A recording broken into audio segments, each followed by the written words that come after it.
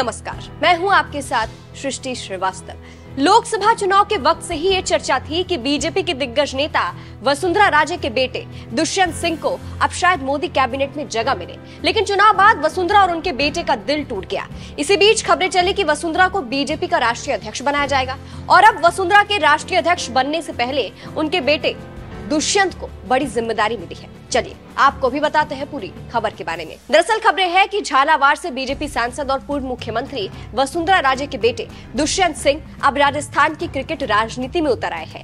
दैनिक नवज्योति की एक रिपोर्ट के मुताबिक दुष्यंत सिंह को झालावाड़ जिला क्रिकेट संघ से संबद्ध भारत क्रिकेट क्लब में अध्यक्ष चुना गया है। झालावाड़ जिला क्रिकेट संघ, राजस्थान क्रिकेट संघ यानी आरसीए के अंदर आता है। उसका हिस्सा है। और इसी से जुड़े भारत क्रिकेट क्लब में दुष्यंत सिंह को अध्यक्ष चुना गया है। यानी अब दुष्यंत सिंह राजस्थान क्रिकेट संघ का हिस्सा बन चुके हैं। आपको ये भी बता दें, झालावाड़ जिला संघ में 27 अक्टूबर को अध्यक्ष पद का चुनाव भी होगा उसमें भी दुष्यंत का चुना जाना तय माना जा रहा है। हालाँकि इसके लिए नामांकन की प्रक्रिया अभी शुरू नहीं हुई है। बता दें, दुष्यंत सिंह अगर झालावाड़ जिला संघ में चुनकर आते हैं तो वो आरसीए का चुनाव लड़ सकते हैं।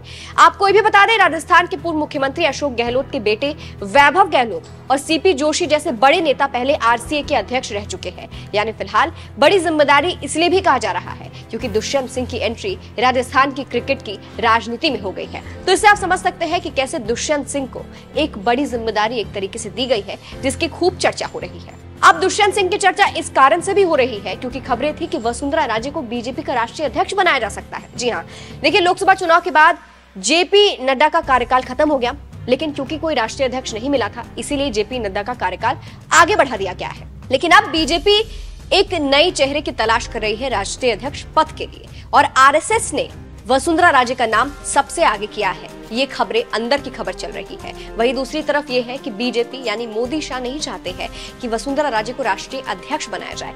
इसीलिए इस मामले पर अभी कुछ भी नहीं सामने आ रहा है। कुछ भी बात आगे नहीं बढ़ रही है। लेकिन खबरें हैं कि क्योंकि आरएसएस ने ये कह दिया है कि वसुंधरा राजे को राष्ट्रीय अध्यक्ष बनाना है, इसीलिए हो सकता है कि वसुंधरा ही राष्ट्रीय अध्यक्ष बने। इससे पहले आपको बता दें, वसुंधरा राजे की नाराज़गी भी देखने के लिए मिली थी। एक खुद को लेकर भी और दूसरा अपने बेटे को लेकर भी। सारा मामला 2023 के विधानसभा चुनाव से शुरू हुआ था, जब वसुंधरा राजस्थान की सीएम बनना चाहती थी। लेकिन जब बीजेपी की जीत हुई और उसके बाद जब सीएम फेस का ऐलान हुआ तो वसुंधरा को झटका लगा, क्योंकि सीएम भजन लाल शर्मा को बना दिया गया। तब वसुंधरा की नाराज़गी देखने के लिए मिली थी। वसुंधरा बीजेपी के कई कार्यक्रम में भी नहीं पहुँचती थी। कहा गया कि वसुंधरा की नाराज़गी ही है। लेकिन अचानक से सब कुछ थोड़ा बहुत सही हुआ।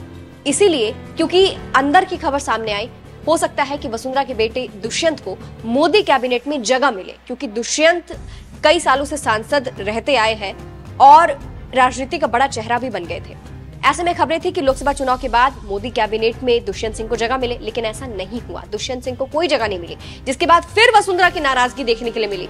वसुंधरा उसके बाद से फिर किसी भी कार्यक्रम में नहीं जाती थी, मीटिंग में नहीं जाती थी। लेकिन अब खबरें हैं कि उनके बेटे को तो बड़ी ज़िम्मेदारी मिल ही गई है, साथ ही साथ वसुंधरा को राष्ट्रीय अध्यक्ष भी बनाया जा सकता है। फ़िलहाल इस पर आपकी क्या राय है, हमें कमेंट करके ज़रूर बताइएगा। नमस्कार।